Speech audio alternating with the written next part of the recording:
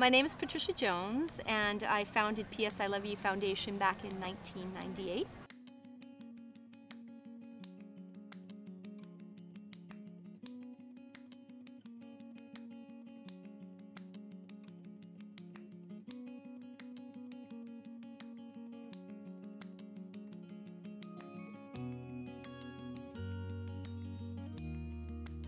So right now, PS I Love You's Day at the Beach has morphed to be, you know, 300 kids united with 300 people like me and you for a day of tolerance building and love and TLC, planting that seed of love and light and being connected to people because we don't connect anymore.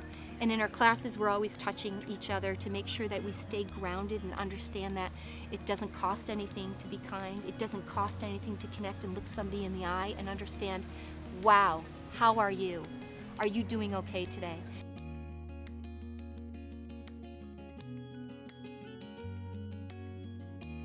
One of the reasons that this event is so important to me is because I was in a home for kids too.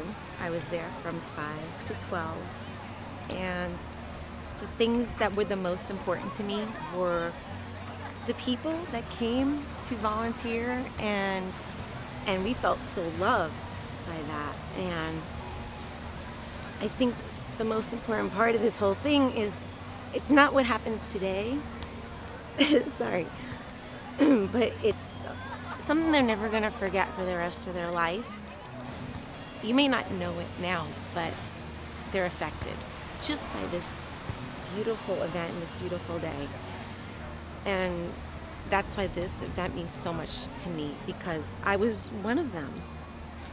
And it made me a better person. So what we've done if we morphed, we actually produce social emotional development programs and our whole goal is really to develop confident, compassionate, conscious, and civic leaders like all the people who come to Day at the Beach who want to be involved and give back. So this day is kind of signifies the type of people we're trying to create with our programs that we deliver during class time. We're doing great things, one child, one family, one community at a time. Come be part of it. We need you, and we need to keep continuing doing what we're doing so we can make the biggest change that the world can see when it comes to social and emotional development. We need you.